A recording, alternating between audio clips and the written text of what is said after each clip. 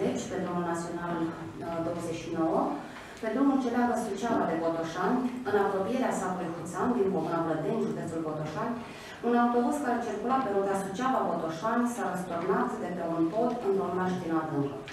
În urma acestui accident și-au pierdut viața 48 de oameni, iar 35 au, de persoane au fost uh, grav rănite.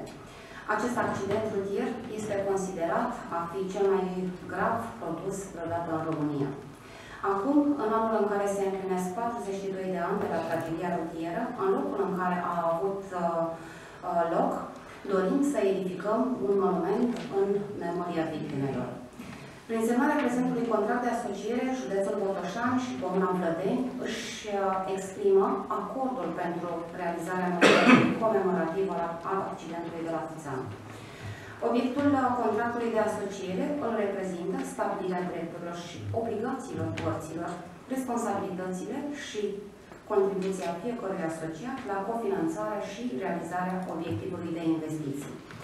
Prețul estimat al lucrărilor monumentului comemorativ al accidentului de la Huțan se va stabili prin hotărâre de către fiecare Consiliu județean, respectiv Consiliul Local, în urma întocmirii devizului general al obiectivului de investiții. Părțile vor asigura contribuția la cofinanțarea acestui obiectiv după cum urmează.